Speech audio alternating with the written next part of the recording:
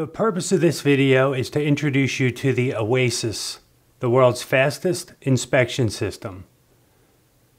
We'll start by going through the Tools menu on the top of the Oasis window, and we'll start with the Vertical Edge tool. The way to activate our tools is to click on it with the mouse. The cursor then changes and says New.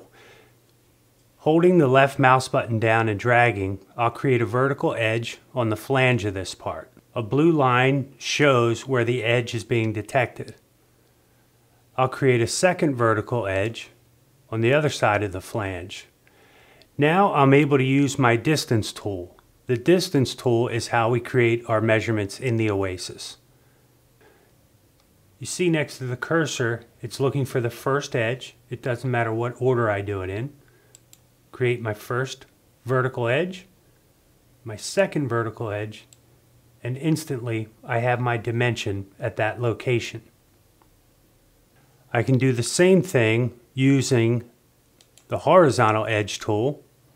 And again, just by clicking my left mouse button, holding it down, it'll detect the horizontal edge.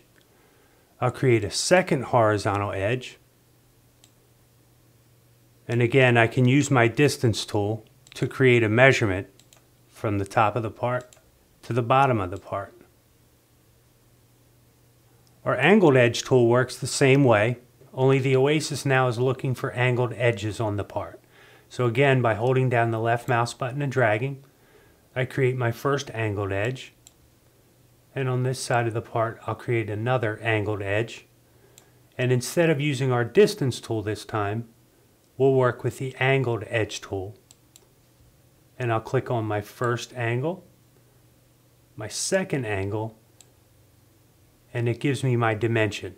In this case, the dimension the Oasis is giving us is how the angles relate to one another. We can also find how the angle relates to a vertical or horizontal edge.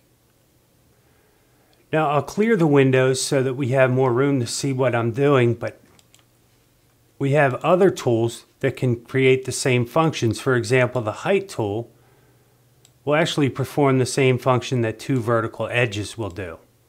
Once it gets gray pixels on either side of a feature on a part, you'll get a measurement instantly. And now in the y-axis, I can do the same with our diameter tool. Once the Oasis finds gray pixels on the top and bottom of the part, it will give you an edge or diameter instantly. Now I'll use the corner tool because, for example, on the top of this part, we need to get a dimension on the flat feature here. Our vertical edge tool would not work and our horizontal edge tool won't work. But by using the corner tool, as soon as the Oasis finds the intersection of the top of the part and the radius, it creates a little blue tick mark. And that's a location we can now measure to. By identifying two corners, I can now use my distance tool to go from one corner to the next, and again, get an instant dimension.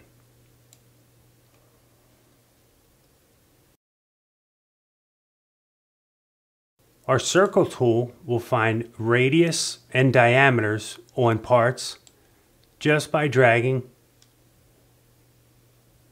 and the oasis will identify the size of the circle. You can pull that out of the way and by right clicking now I can change that radius to a diameter if our part print calls for a diameter as opposed to a radius. In version 3.4 of Oasis we now have a point tool and the point tool will allow you to create a point anywhere on a part and measure to that exact location.